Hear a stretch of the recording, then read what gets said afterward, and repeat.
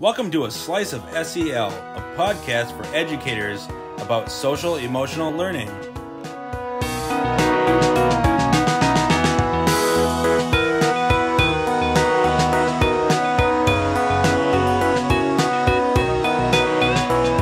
Welcome to a slice of SEL. We're the SEL services team at the St. Croix River Education District. I'm Nick. I'm Rye. And I'm Courtney. And we are in the middle of a five episode series about integrated SEL instruction. Another way to say that is weaving SEL into our academic instruction throughout the day. And during these episodes, we're going grade band by grade band and talking through a bunch of examples of SEL integrated instruction and you're hopefully picking up from these episodes some activity ideas for your classroom. But by listening to these episodes, you're also just learning about the Minnesota SEL standards themselves, and they're the foundation of everything we do in SEL. And last week we covered the first standards area, self awareness. This week we're chatting about self management. And self management covers really like two buckets of standards and benchmarks. You can kind of break it up into two things. And the first bucket would be like managing emotions, staying calm, showing self control, impulse control. So there's that bucket, kind of knowing my feelings and being able to manage them and, and how they affect my behavior and being able to manage that. The other one is setting goals, persisting, working hard, staying organized. The how we accomplish things bucket is what you might call it. So if you want to think about the standards under self management, they really split pretty well into those two areas. But before that, let's talk about what's filling our bucket this week. Um, I'll go first. I am just excited that, you know, our routines are starting back up. My girls are going back to school and things are kind of starting to feel somewhat normal both here at home and um, at work. Well, mine kind of connects to that, Rye. Um, I was in a meeting with a couple teachers earlier this week, and we were talking about um, the elementary schools moving back to having kids in person and how great that is and teachers were sharing how excited they were and just energized to have kids back in their room. And other teachers were reflecting that as parents and as educators, it really inspired them and made them feel so warm inside to hear their colleagues, other teachers talk about how much energy and excitement they have of having the kids back because they they as parents really appreciate hearing that like the the kid the teachers who are working with my kids are probably just as excited to have my kids back in their classroom. So it just feels really good to a lot of people. Yeah, it's been really fun just seeing um, the girls come home with like all the stuff from their teachers and, and how happy the teachers were to see them, just like you said. Right, that's awesome. Um, and I'll go last. We are getting a new car in our household, so it's really exciting. We'll be able to have two reliable and attractive, fun to drive vehicles. That's very exciting. You that's one of those things that's easy to take for granted until you have car trouble. So, shifting to our main topic, in the first episode last week, we did about integrated SEL instruction. That's episode 14 if you want to jump back and listen to it. We explained the difference between integrated SEL instruction and explicit SEL instruction. So we encourage you to go back if you missed that episode and listen because we'll explain it a little bit more there than we will this week. We also want to just remind you that these aren't competing practices. So it's not like, oh, I'm teaching SEL curriculum like a second step or using our Be Good People curriculum. So no need to try to weave that learning into the rest of the day. We also wanted to review briefly what this actually looks like in practice. So some of these activities that we're going to talk about are going to fit nicely into an academic lesson plan. And you could, for example, add an SEL learning target to an academic lesson plan and actually include a discussion, an art, a writing activity that blends that SEL learning in without the students even real, even realizing it. And some of the activities we cover won't fit that model exactly, and you'll get the idea as you listen to the examples we talk about. For example, like last week, we talked about encouraging students to join clubs or other activities. I wouldn't really write that probably into a lesson plan for my math lesson, for example. So you get the idea. Some of these things are going to really fit and be nested into those academic lesson plans, and some of them are more ways we weave it in throughout the day, but we aren't necessarily writing it into a lesson plan. Right, and we also want to just mention that these activities came straight from the Minnesota State SEL standards. So, fortunately, our state standards included a bunch of integration examples to get the schools rolling, so we didn't have to come up with all of it from scratch. So let's get started. Well, we're going to run through some examples by grade band, starting with K3. So, just a little tip if you don't teach K3, I just suggest you look at the time codes in your podcast app and skip ahead a little bit.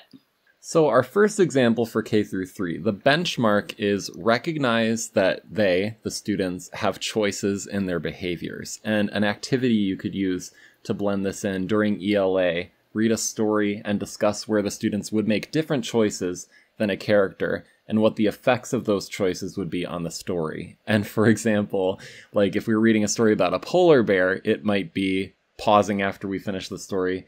Hey, you know, the polar bear had a big feeling. He took a break in the story. When we have big feelings, sometimes we want to shout. What if the polar bear had shouted at the narwhal? What do you think would have happened? So just talking through like when you have these emotions, they are going to make you more likely to do certain things and what would have happened if the nor- or the polar bear would have made a different choice. The next one is identify personal goals with assistance from an adult. An activity for this one is have students create a personal goal, hope, or dream for the school year and display them in the classroom along with the steps they will need to take to reach it. Um, the elementary educator in me is just flowing with cute classroom ideas for this one. Um, but right away, obviously, a good time for this lesson is at the beginning of a school year or around the new year when we're creating resolutions. But it is also equally important to revisit throughout the year. So, if you're teaching an English or a reading class, maybe it's a goal that the students want to read a certain amount of books, or you're teaching a health or ed class and you're having students make a health or physical fitness related goal. Um, I know my daughter, we just sat down and, and made a dance goal. She's an avid dancer and she wanted um, to meet a certain goal. So I helped guide her through that process with making a plan with a reasonable timeline to help her reach the goal. But I also emphasized the importance of having her to be her to be the one to come up with the steps that she wants to take because if it were me or anyone else telling her what to do, she, it would not be as meaningful to her. Yeah, that's a great personal example. Um, and the next benchmark we're going to chat about is recognize the importance of not giving up, or another way to say that is perseverance. And an activity example is to routinely ask students to brainstorm ways to motivate themselves when they face a difficult situation. And just for example, say that you're starting a new math unit or a new unit in any subject. And during your anticipatory set, some teachers might present that as a challenge, like, oh boy, this unit's a tough one you guys are going to have to bring your grit in spades to get through this unit. Um, does anybody have any ideas for how we can keep working hard even if one of us feels like giving up? So that could be built in as the anticipatory set when you're doing the first lesson in a new unit.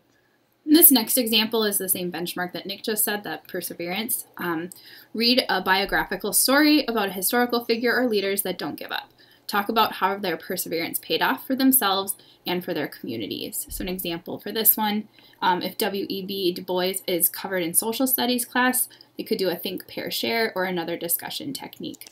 Why do you think he was able to do X, Y, Z? And then during the whole group sharing, guide them to focus on the perspective and not intelligence. So, we're going to move on to the four through five grade band. And bit, the first benchmark in this area is to understand causes and effects of their emotions, thoughts, impulses, stress, and distress. So, an activity here would be to read a story that demonstrates an internal conflict within a character, and students identify cause and effect of that conflict within a character. So, for example, Buzz Lightyear in Toy Story thinks he's an action hero, not a toy. He keeps getting information that proves that he is a toy. So, the effect example would be how does this conflict make him feel? We could use the Yale mood meter or give kids a simple emotion vocabulary list. Also, what does the conflict in Buzz's feelings make him want to do? His impulses? So, examples, he keeps looking for dangerous situations where he can prove that he is not a toy. And for the record, pulling back the curtain, um, we came up with the Toy Story example because I looked up a list of four through five reading texts and couldn't quickly uh, think of great internal conflicts to use as an example. So um, you might not be watching Toy Story in class, but it is a good example of internal conflict. I love it. The next one is use constructive ways of expressing their emotions, thoughts, impulses, and stress, such as through using I statements. An activity for this is use fill in the blank I statements as a practice as a practice tool. For example, I feel nervous or distracted when the music is so loud. I just think that this activity can also help build communication and self advocacy skills. I know some adults who aren't even able to express how others make them feel and communicate what they need in order to help them feel better in the relationships without bottling everything up until it overflows you know, like that soda pop had last last week's episode. Um, so just a good way is just to encourage your students to be open and vulnerable with each other throughout your class as it pertains to student discussions, assignments, or interactions. Yeah, and when I was thinking about this one, Rye, um, I like the example of discussions because I was thinking about how you would write this into a lesson plan and where it would fit. Like you could, before splitting kids into small groups, um, have them fill in that blank of I feel blank when I'm in a small group and I end up doing most of the work, for example, um, and give them an opportunity to ahead of time proactively express that so that they head into that activity um, with more vulnerability and understanding of how it's going to go. So, the next benchmark we're going to chat about is identify internal and external resources necessary to overcome obstacles to meet a goal. And as a regular, this is an activity example, as a regular practice, anytime students are working on goals, you could ask them questions that help them think about the resources they can use. Like, what are the challenges you're facing to achieve your goal? And what kinds of resources could you use to overcome an obstacle? So, those kind of reflective questions for students. So, to make this really concrete, for example, say that I'm a student and I'm completing a group project or just a project individually by myself. At the beginning of the project, midway through, a couple of times, you could have students do a think, pair, share on those questions that I just read. So your goal is to create a great project, for example. What challenges are you facing? Have them think, pair, share about that. And then Next question, what kind of resources could you use to overcome obstacles? And then they're getting that feedback from each other and those ideas from each other, and it isn't all coming from me as the teacher. The next one is demonstrate the ability to actively engage in a feedback loop. So, building in time for reflection at the end of each day or week when students reflect on their plans or goals and assess whether they are making progress and think about what they may want to do to improve. So, maybe they made a student goal of reading a certain number of books. So, just checking in on their progress and making sure that the students are on track we actually did something like this uh, just this week at Scred with some of our personal professional goals um, that we make at the beginning of each year. I just think it's so helpful to take out the goals and plans and visit them frequently in order to keep them on the forefront. It just allows us to adjust and pivot those plans as needed so that we all stay on track and, and you can help your students make those goals that they set for themselves. And I think that reading example is really excellent, Rye, because it's just an, an example of how this SEL integration doesn't have to like feel dramatically different from what we already might have been doing. Like I think that's a pretty common thing to to check in. I'm part of the generation that earned pizzas from Pizza Hut for reading a certain number of books, so that was my goal when I was a kid. Um actually that's still a practice. Is it? yeah. The girls oh, uh, bring home the Pizza Hut slips every week or every month. Um, the next benchmark uh, is analyze the relationship between your own ethical values, such as honesty, respect, integrity, and your behavior or the choices that you're going to make. So, an example of where this could fit in social studies class is reading biographies or the short stories about historical figures that sometimes come in in the history textbook itself, focusing on historical figures that demonstrate highly ethical values. Um, and then you would lead a discussion about how those values influence their actions. So, just for example, say you're talking about George Washington. You could provide students with a list of value words.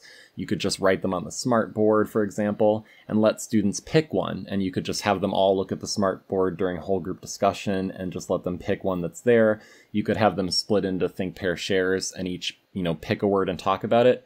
But anyway, just let them discuss and reflect and make that connection. How did that value that they think George Washington had affect his choices and the behavior that he engaged in in the situation you're reading about? So, again, an example of where you might think to do this already. Okay, shifting to six through eight, our middle schoolers. So, the first benchmark we're going to talk about is evaluate the role that attitudes play in being successful and just an example of an activity that could help weave and blend this in is share your own story about a time when your attitude, either as a student or as a teacher, affected you. And just a really concrete example so, when you're preparing students to do an individual speech or a group speech, you could plan to share a story about the first time you had to do this when you were a student and how your attitude affected you in a positive or a negative way. Or you could talk about presenting in front of your fellow teachers and your students might react with like, wow, you actually talk to the other teachers when we're not here.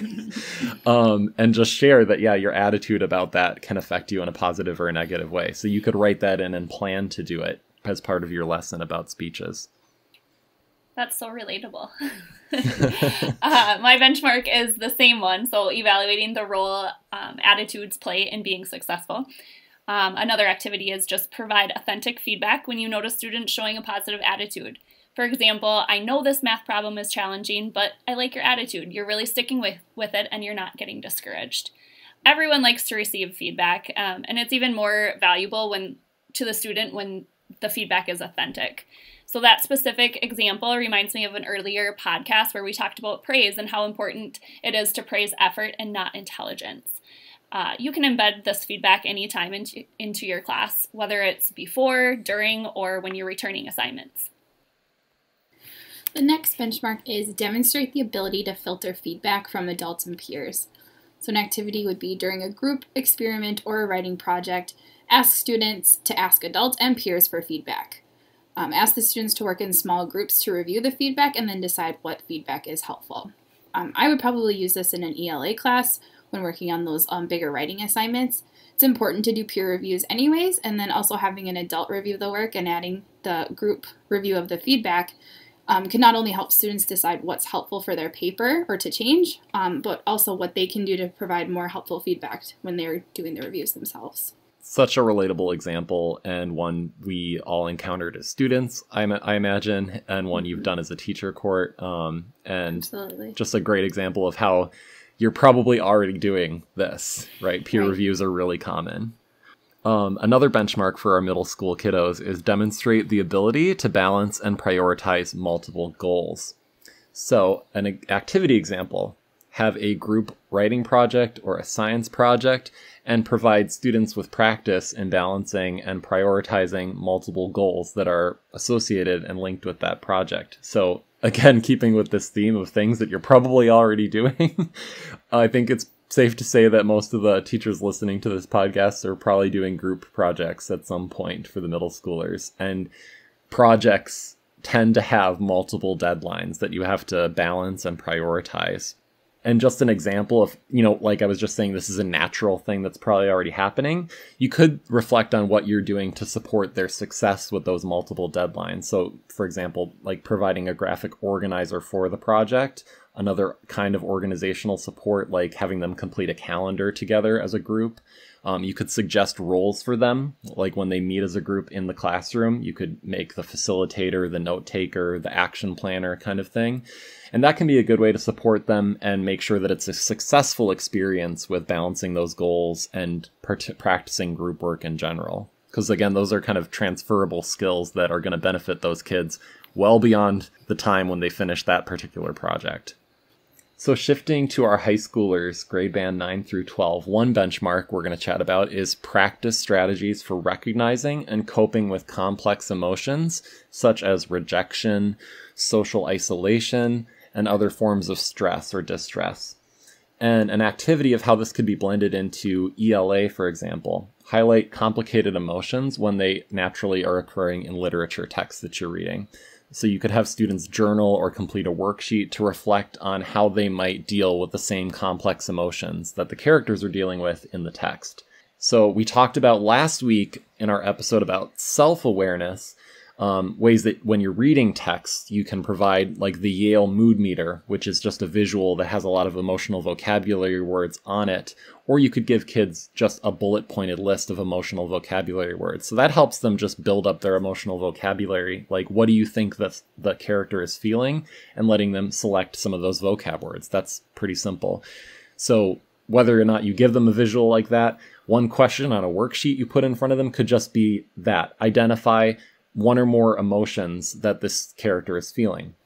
And a follow up long answer or a paragraph question on that worksheet could be How would you deal with those emotions if you were in the same position? And what would your choices lead to? So it's a question that I think I answered a couple times running through high school reading literature texts. Um, and it's a great way to blend this in. The next one is incorporate personal management skills on a daily basis, including work study skills, personal resources, and time management. So, an activity for this is students creating a daily plan for mapping out school, activities, homework, and sleep or nutrition. Um, I just remember my high school gave out student planners at the beginning of every year, and early on in the year, we had lessons about how to use it and keep organized. And then I remember, like, my teachers, whenever they would assign us assign um, homework or projects, like they really advocated us using our planner to help model and, and teach those uh, organization skills. And I think schools, especially when they do explicit instruction, like I'm working with a junior and senior high school right now, where during distance learning, they made sure that they were teaching their lesson in their SEL curriculum about organizational skills, and they were talking about to do lists and calendars and planners, right? And making sure that the kids had like a system. Because we often, I think, assume that by the time kids hit ninth grade, like they've got that stuff figured out. But I worked in a high school, you just wouldn't probably believe the ratio of students and the number of students who don't have those skills and it's like maybe their hand was being held up until they got to that point and then suddenly we expect them to just pick up all that slack and be able to keep track of all that stuff I don't remember really being explicitly taught how to use a planner until I did get to high school. So I do think it is important for especially those middle school teachers out there to really maybe start focusing on that earlier because there is such a difference between middle school and high school and the responsibilities that are placed on you. Yeah, absolutely. Um, and again, with this episode and thinking about in particular ways that you can integrate this planfully and intentionally, like write this stuff into lesson plans, you could write, for example, before you're going into a multi step project, writing into your lesson plan to remind students and give them time to think about how they're going to keep track of this with their organizational system because it's really about applying that knowledge that they've learned into day to day life. Exactly. The next one is analyze if they are behaving in line with the ethical values and adjust accordingly. So, an activity for this is to teach the think process to help students recognize responsible social media use before posting an unkind or untrue remark about a person because they are upset. So, the think process is an acronym. It stands for T is is it true? H is it helpful? I is it inspiring? N is it necessary? And K is it kind? Um, this activity could easily be part of the class norms as well. And Court, this one always makes me think of you because when you first moved into our office at Scred, you had a sign like this in your area, and it was one of those first signs that I knew we would work so well together. um, but I do think it is such a valuable thing to teach to students, and because it's easy to remember and can help slow down some of those students who might be quick to speak. Um, and you could easily revisit this process before the start of any large group discussion, either virtually or in person. This was one of those things that I had in my classroom before our school became a PBIS school, so we didn't have those like five school wide things that we use. So whenever I would have to have those behavioral redirects with my kids, I would say, All right, look at the sign. Where do we think we struggled today? Where do we think that comment fell? and then how can we fix it? Oh, I, love, I love that, that reflection. Yeah, great example. Um, the next benchmark we're going to talk about is analyze and implement feedback from multiple sources like peers, teachers, family. And an activity example of this is you're going to be doing large group projects, right? So asking students to rotate around in groups and give each other feedback and ask them to collect that feedback from each other and then as a group discuss and organize the feedback and decide what to do with it. And when you hear that example, you might be thinking, um, I do peer review and I'm already doing this. And that's, again, kind of a theme of this episode is that you're probably recognizing some activities that you are already doing. So you're already doing a lot of social emotional learning in these ways. And another thing to think about here is what am I doing to help support this and make sure that it's a successful exercise for students? So, just for example, kind of that link between explicit and integrated instruction. On the explicit side, I know our Be Good People curriculum, it's an SEL curriculum, has a lesson about accepting feedback. And one of the things we have in there is just a one sheet poster that has the steps to accepting feedback. So if I say taught that lesson earlier in the year, it would be really a great idea to bring out that poster and just take a minute to review what that looks like to remind kids, hey, before we do peer review, let's review what it should look like to accept feedback in an appropriate way. And one of the things I think in that high school lesson is you don't necessarily have to accept it because not all the feedback you will get is stuff that you have to act on. Um, the next benchmark we're going to chat about is develop both medium and longer term goals by the end of the school year or in six months. So those are example of like medium long term goals. And an activity example is to create small groups designed to help students think about the steps needed to complete an assignment. So if you think about like a assignment that takes more than a day, uh, like a project assignment, some steps are like doing research, gathering information, outlining an essay or a report, actually drafting it, proofing it, right? Those steps. And students have all kinds of systems for this. Like they might be using a planner, they might be using a to do list app. So, to make it really concrete, imagine you've got a project to do in two weeks and it's an individual project. Well, you could begin it by pairing students up or putting them in small groups and giving them time to coach each other so they can walk each, each other through what are the steps of this longer term project how are you planning to keep track of when you get done with them? What's your system? And then they can learn from each other. And we all know adolescents are more likely to take each other's advice than the adults' advice. Mm-hmm. Um, Absolutely. And we talked about this earlier. A lot of kids hit ninth grade without the organizational, basic organizational skills that we might anticipate. I've worked with a lot of high schoolers in 10th or, tw- or 11th grade who still don't have those basic systems for keeping track of what they have to do, when it's due, and a way to check it off. So it's a great opportunity to have them reinforcing that behavior and learning from each other. And the last benchmark we've got today is monitor progress toward medium and longer term goals and make adjustments to plan as needed. So, an activity for this one could take place during a math or science class where graphing is being covered. Um, can have students identify an academic, personal, athletic, or whatever goal and help them use that uh, help them use that to practice graphing skills. So I remember the high school I worked at, the health class would set goals um, for that class, and they usually worked on improving their eating habits or sleeping habits, and they would track them and then graph them. And at the end of the term, they would present their graphs and their data and results and what they found from that project to the whole class. Um, within the larger long term goals, they would also set benchmarks to review around midterm, and that would help them see where they were, and then also how those smaller goals fit into those big ones and how they can adjust. Oh, such a good example, Court. Thank you. Oh, of course. So let's talk takeaways. We talked about at the beginning of the episode. There's two hopeful hopefully outcomes you have from listening to this episode and this series. One is just picking up some fun activity examples. That's always nice. Tools of the trade. Number two would just be learning about these five areas, um, the standards and benchmark areas. So self awareness was last week. This week it's self management. Next week we'll be talking about social awareness, then relationship skills, and then finally responsible decision making. And just to recap, we've said this in I think other episodes, in other videos, but I wanted to make it clear. Um, this podcast is for our local folks, and in most of our schools, PBIS is in place. And it's really un- important to understand the relationships between SEL and PBIS. They're not competing. If you're in a PBIS school, you know you've got three to five expectations or rules like safe, respectful, responsible. And those are ways to make it easier to communicate where the bar is for kids, what our rules are. SEL helps kids meet that bar. So if you think of a rule that we might have is like walk slowly in the hallway, well, in order to do that, a kid has to be self aware about their feelings, their behavior, their impulses, and then they have to use self management to control that. So that's just an example of like these skills that we're building through SEL are the things we need kids to know in order to meet our rules and our behavior expectations.